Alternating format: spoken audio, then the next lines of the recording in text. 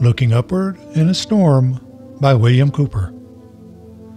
God of my life, to thee I call, afflicted at thy feet I fall. When the great water floods prevail, leave not my trembling heart to fail. Friend of the friendless and the faint, where should I lodge my deep complaint? Where but with thee, whose open door invites the helpless and the poor?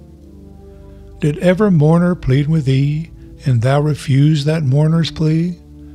Does not the word still fixed remain, that none shall seek thy face in vain? That were a grief I could not bear. Didst thou not hear and answer prayer? But a prayer hearing, answering God supports me under every load. Fair is the lot that's cast for me. I have an advocate with thee. They whom the world caresses most have no such privilege to boast. Poor though I am, despised for God, yet God, my God, forgets me not.